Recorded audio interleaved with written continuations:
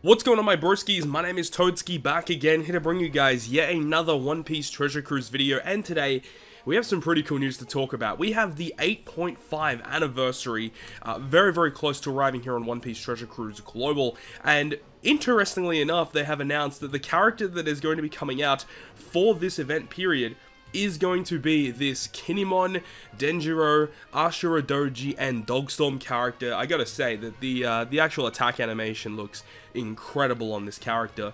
Um, but this Sugo Fest is going to be the headliner for the 8.5 anniversary, of course. Now, interestingly enough, it actually did mention that this is going to be a part 1 8.5 anniversary celebration. So there is going to be room left for a part 2 and I mean that could go in a lot of different directions but due to the fact that this is the part 1 it's a very safe assumption that part 2 is also going to be very similar in vein in terms of what this is going to be. Now there are a couple of options and we'll talk about it towards the end um, but we can see that this Sugo Fest is going to be going live on October 29th and is going to be going until December 9th so it's here for a very long time. All throughout November it is going to be here. It, it is not a Super Sugo Fest as well so keep that in mind. But let's actually go through what this character does, because the Twitter has been able to provide that for us, which is fantastic. Um, let's go ahead and go through the in-game information, because it's the easiest way to, uh, to break this all down. So first of all, Having a look at the character, it is a strength. It's hard to see it on the icon, but it is a strength slash a free spirit. It's a super class slash a character, and it has final tap. Uh, has and Critical Hit, which I think is pretty okay. I don't really have a problem with that. Uh, one thing that, that stood out straight away is the cooldown is very high at 14 turns, but there are ways to get around that as we'll go through in this, uh, in this little video here. So let's go through the Captain ability first. So of course it's going to reduce Slasher characters cooldown by 2 turns at the start of the quest, which is crazy good boosting their health by 1.25 and their attack by 5.25 with a matching slot, 5 times otherwise. So that's very, very good. And then he also makes recovery and tandem slots matching, reduces the crew's attack down by 10 turns is nuts. Uh, I think the only other character as a captain that removed it was the General Frankie character, so it's awesome that we're getting another attack down reducing captain. It's so, so good. And then it also says that if you tap on this character with a Wano slot, he applies a minus 10% slasher resistance down to all enemies for one turn. I think this is actually kind of weird though, because this character is a final tap character, so you probably want to attack first with this character to apply the slasher resistance down, unless if you're running double Kinemon, Denjiro, Ashura, Dogstorm, then in that case, then yeah, that makes a lot of sense, because you can attack one with one of them, and then finish with the final tap with the other. But uh, that I just found that to be a little bit weird. But I guess in turns where you're not activating Final Tap, this is still really good, right? Just get 10% bonus damage for free. And nothing really too bad about that at all.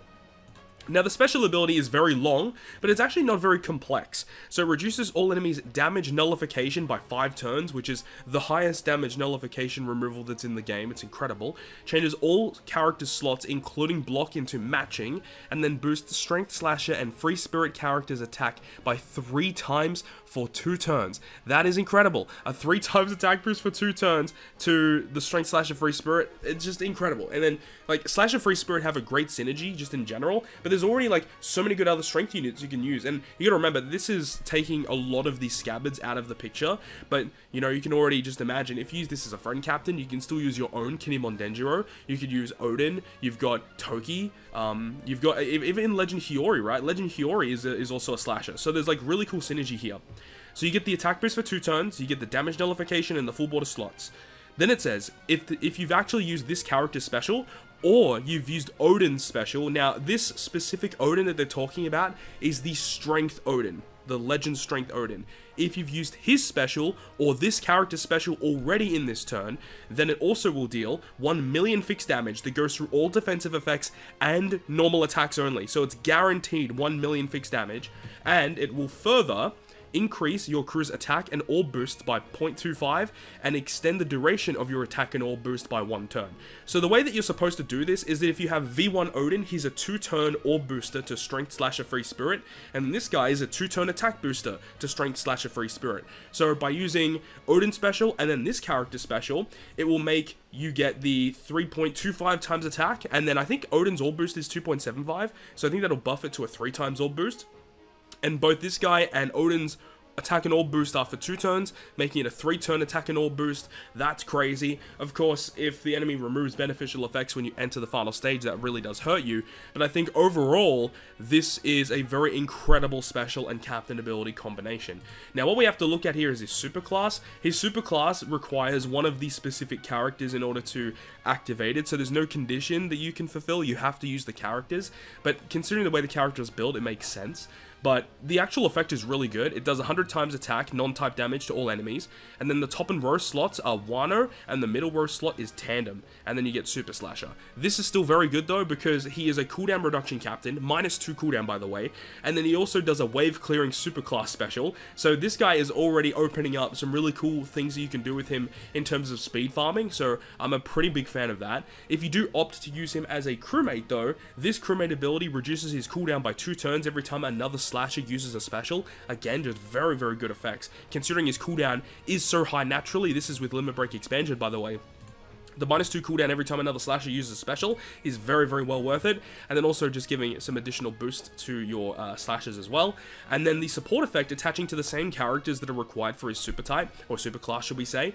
But it says that if you are inflicted with attack down, you reduce your cooldown by 1 and reduce attack down by 2 this is just such a good support effect and there weren't really many attack down like removing supports just in the first place so just adding this to to your account is fantastic but then we need to talk about probably the most uh, important component of the character is the character's final tap now this is probably the second best final tap in the game right behind Luffy crew and the reason for that is it is because it's basically a Luffy crew final tap which is just crazy to think about uh, the condition is very simple. You just have to reach the final battle, so that is great. You don't have to use their special in the final stage, which would be perfect.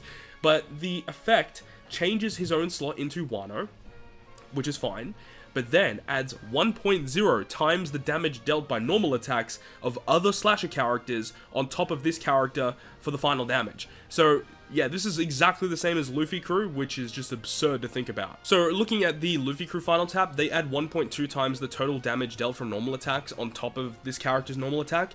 So yeah, it, it is a nerfed version of the Luffy Crew final tap, where Luffy Crew is 1.2, and it can include any character, but this is 1.0, so a little bit less, but it only includes slashes. So Overall though, this is still really good because remember this goes for normal attacks only, this allows you to get around enemy resilience, so just all of those things combined is just so good to see. Even at level 1 you got 0.25 which obviously isn't very strong, level 4 goes to 0.75, so yeah the multipliers aren't very good until you reach like around level 5. Level 5 is like definitely where you want to be of course, but the fact that this character is not a Super SugoFest exclusive means that we hope that this character is going to be relatively accessible and more pullable in future banners, which we really, really hope that is the case. Now, the other thing that we need to have a brief look at is this character's um, Rumble stats, because this character in Rumble, I think, definitely has potential. We'll have to wait and see how people uh, opt to use this character, but uh, the Rumble ability will give Slashes 6 health and 6 attack, which is pretty okay, but the thing is, with strength characters or slasher characters in general, is they're not very bulky. So I would have preferred if it was 6 attack and 6 defense, or even 6 HP and 6 defense. I think that would have been well worth it, because in terms of attack, slashers have a lot of attack already. They really need more defensive capabilities. So this effect, probably not amazing, but then 32 CT, which is pretty high, but the effect targets two enemies with high HP, for defense down level 5, which I think is actually pretty cool. And then it will also give one enemy 2.5 times attack up to 4 times. So that's a lot of damage that you can do pretty efficiently there.